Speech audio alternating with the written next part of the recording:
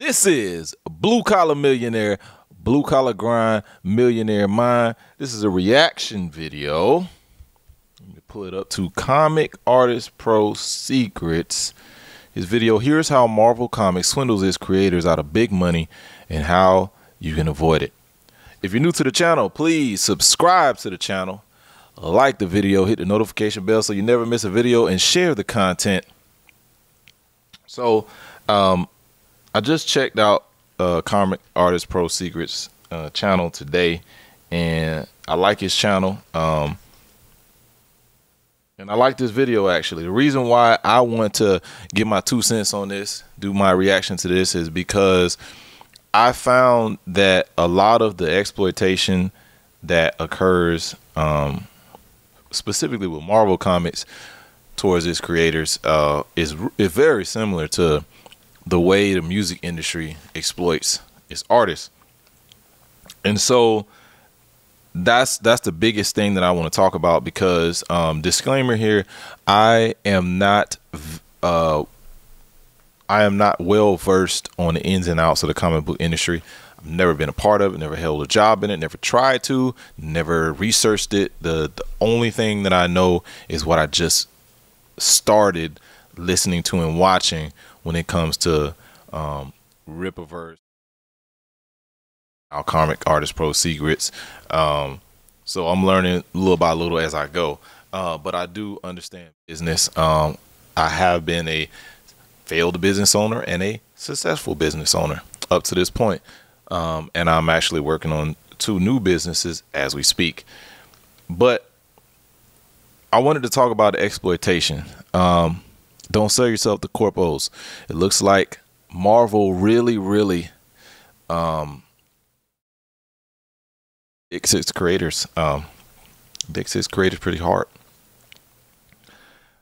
But the type of contract so what what uh, comic artist pro secrets brought up is that the type of contracts that um, creators sign with marvel um, there's a $25000 incentive if you create an original character that ends up in a movie.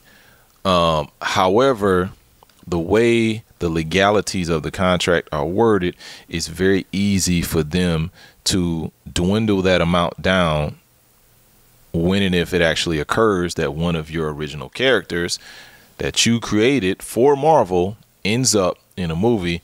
And uh, Comic Artist Pro Secrets um, basically said that he had a character that ended up in a movie, uh, in an X Men movie, actually, character that he created, and um, he was expecting a twenty five thousand dollar check. He ended up with nine hundred dollars, and then basically justified it by saying that, well, you know, you only get twenty five thousand if it's a your character is the titular character um, that the movie is based around. So they're basically the star in the movie is about them then we'll give you 25000 What she goes on to say uh, is a shit deal, and which I myself have to agree with. That's a shit deal.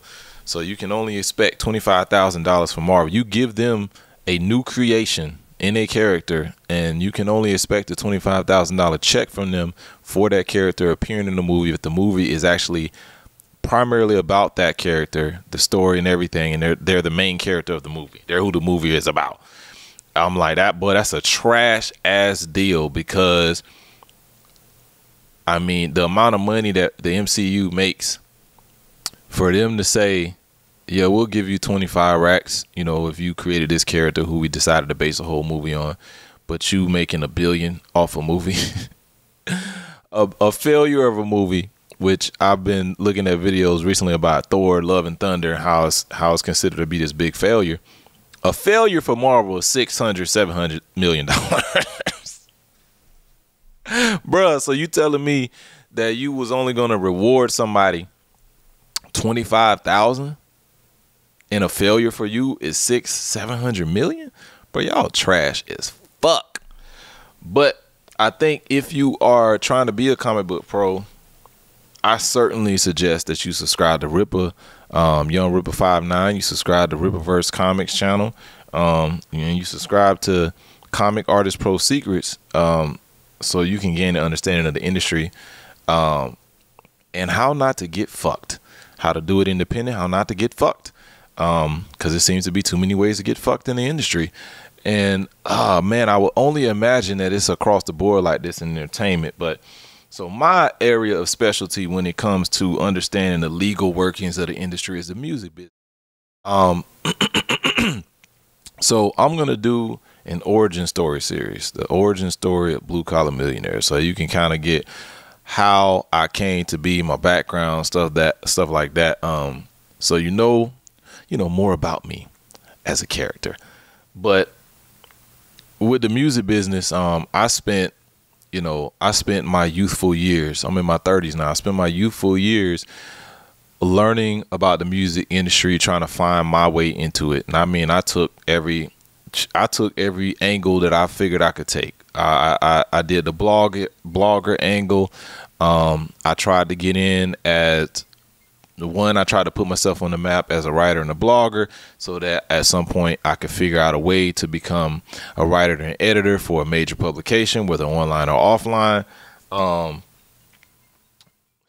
uh, I, I pro- produce, I still produce. Um, try to take the producer angle, try to take the producer songwriter angle, while I write and produce and record the demo record for you angle. Um, I, um, I mean, I'm a drummer. Um, I was in a, a pretty decent uh, alternative band at some point. Well, I say a punk band, but we did we did punk rock. Our mains were punk rock, blues, mixed with some funk and hip hop, and uh, that shit was fire. Uh, so I did that. I did the band thing. Um, what else? I mean, I pretty much try. Oh, I, I was a DJ, and actually, um, as a DJ, that's actually the most success that I saw. That was actually my original successful business was being a DJ. Um, COVID hit, and I retired. Thinking about getting back into it, but it's not a high priority. But I did make a good amount of money DJing, enough that I could call that business venture a success. Um, but in the process of learning everything I did in the music industry and about the music industry, I learned that it was a terrible idea to sign a, st- a standard record contract. To enter into most record deals is fucking stupid from a financial standpoint. Now, if you want fame, uh, then you know if you happen to end up being a priority artist on on a label roster, you can end up with a decent amount of fame, but that won't necessarily translate into money, especially if they um, spend a shit ton of money on your marketing and the budget and your recording, all the other shit. Like you, you're not really gonna make no money. Now you can be famous and make money, but um, there's a lot, a lot of the artists that have a level of fame, you know, that you would think have a good amount of money are pretty broke. Um, and it's because the record contracts have a shitty, it's, a shitty standard and it's shittier now. Um, but back when I was doing the majority of my research and learning and all that, you know, you were talking about uh, 11% as a standard for you on a record contract. So every record you sell, you get 11%. And that's after, that's after your label makes back all the money that they spent on that particular project. So let's say you do an album, let's say you got a, let's say a $200,000 recording budget and a $100,000 marketing budget, right? Um, you are three hundred thousand dollars in debt to the label. If they give you an advance, like a fifty thousand dollar advance to live on during the time of you making and producing the album, then now you three hundred and fifty thousand dollars in debt to the label. So what's going to happen is when you start selling records, albums, CDs, whatever, um, you won't see a dime until they make all their three hundred and fifty thousand dollars back. Then after they recoup operation recoup fees after they recoup, then you will start making 11% per record sale. So let's say make it easy your record is $10 you're going to make 11% of that $10 which is a dollar and 10 cent that's trash uh, especially especially if you are your own songwriter which generally rappers write their own material um, a lot of these singers don't, especially in pop, but pop and R and B, really, they don't they don't write what they're singing. It's a professional songwriter that's putting it together. Uh, uh, oftentimes, it could be a uh, production and songwriting team that's putting it together, and so that artist isn't even making that eleven percent take that back. Take that back. Sorry. Let me rewind. The artist deal, that 11%, you're signing that 11%, I think, regardless if you write it or not, it's the artist deal, but you make more, um, you make additional money on publishing if you are the writer or the producer. If you write and produce your own material, then you going you, you get the maximum amount that you would get in a record deal. So it's just real dumb to to sign most record contracts. And and then the other thing about it is um usually if you sign a record contract and you're not coming in with clout and a name for yourself and you have the leverage to actually negotiate for a better deal, you're actually giving them the rights to your name. So whatever your artist name is, your stage name, they own your stage name. And so if you end up leaving that deal, right? And you go and do records for yourself or somebody else, now you have to do that under a different name than you became known for because they own your name. On top of that, most of these deals, because artists just artists refuse to educate themselves, most of these deals, uh, you also give them the right to your master. The master record is when you make a new song, the final version of that song is the master. They own the master. And if you're really dumb, they own the master recording, which is the record as it exists in its final form. But then they also own the publishing, which is the actual music that was made for in the lyrics. So the way you separate the two is a master recording. This is what that final version of the song sound like. But the music that was produced and the lyrics that I wrote, that can be reproduced again. Like you can take the same lyrics, the same chords, and all the elements of the final production, and it can be reproduced by another person, redone. You know, you know what I'm saying? Covered, whatever. Um, so that's the publishing, and then there's the master recording. And oftentimes artists do not own their master recording. So all the money that can be made off of that record as a master, you really not entitled to it unless they write it into your deal, and they're not inclined to do so.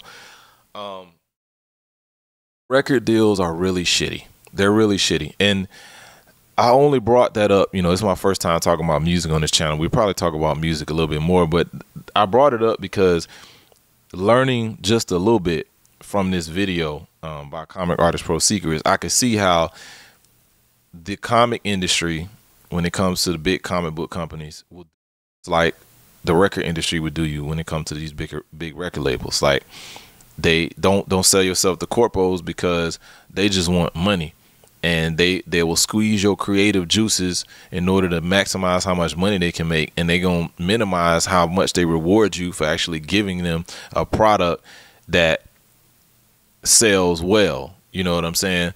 So it just it, it really it like struck me the similarities um and the fact that you know if you sign a bad record deal like you could become a double platinum artist but you still in the shitty record deal. So your label can make millions off your album, single, whatever, and, and you see a few thousand. Like they they don't care. So don't be dumb. But ownership and creation, man, um, when if you're a creative, ownership and creation is is paramount you really if you if you're getting started even if you're not getting started if you've been doing this for a while you should really think about retaining ownership over your